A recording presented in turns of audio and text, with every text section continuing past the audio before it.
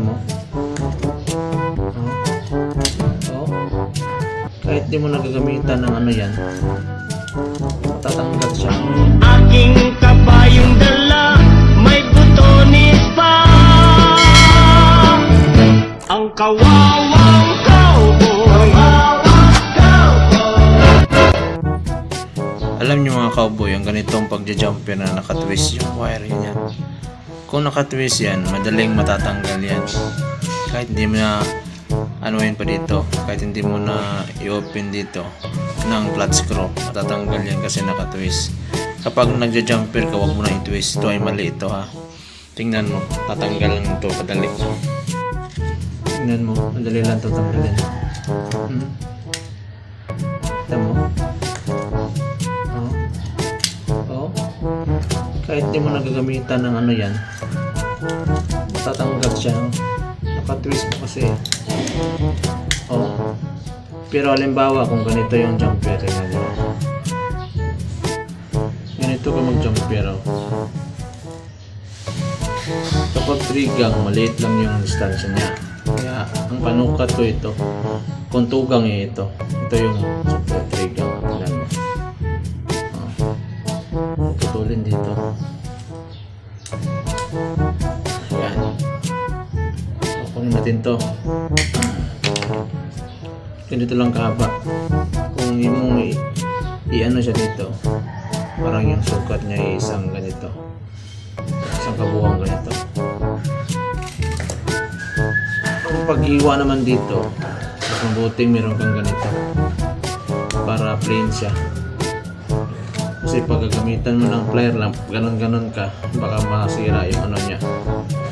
Yung plastada ng ganito. Ayan.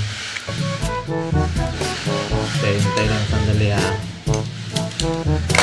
Yan, gawa ka na ng dalawang dulo. Pag gagawa mo ng ganyan, wala na insulator, wala na insulator.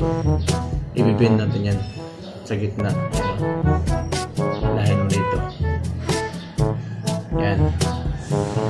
Pagkatapos, ito ng mukha niya. Gagamitan mo naman niya ng plier. Ang gawin ng plier, ganito yung trabaho niya. Ipipress ka sa gitna. Ipipress mo siya na magpantay sila. Ganyan. Pagka-press niya, mahaba siya. Kung i-ano mo siya dito, tingnan mo, lalagpas siya sa kulay green. Dito tayo, lalagpas sa kulay green. Kaya putulan natin yan. Mahaba yan. Ganito lang yung standard niya. Dali. Yan lang kahaba. Yan, ganyan lang kahaba yung standard niya. Ngayon, huwag mo nang iti-twist to.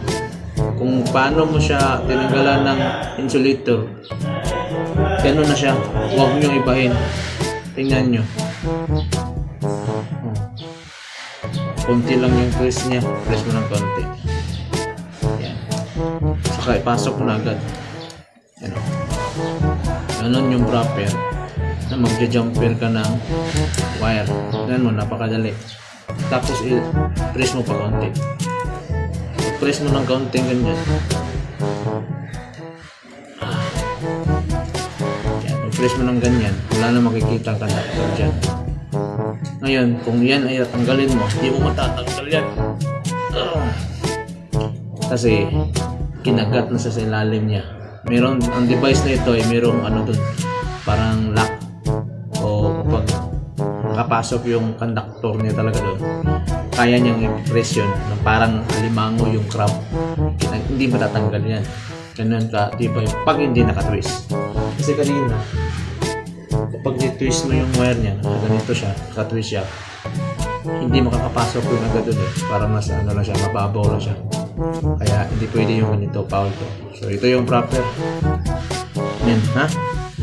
Thanks for watching and don't forget to subscribe this channel. Click the bell para updated ka sa mga video mga katulad dito. See you next time. Peace.